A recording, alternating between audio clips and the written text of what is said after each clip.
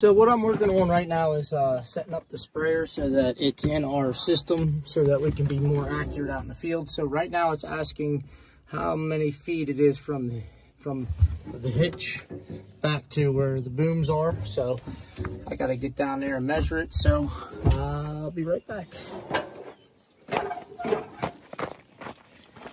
So it's just to be a rough estimate. I'm to put the tape right here.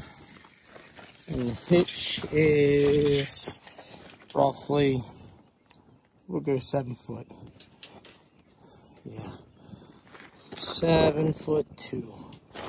Just to be on the safe side. So, um, there's going to be a bunch of other things that I have to measure too. So, once I get it all set up, um, we'll be spraying our oats that we put in. So, let's see here.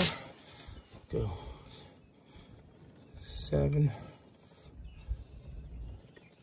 foot two inches.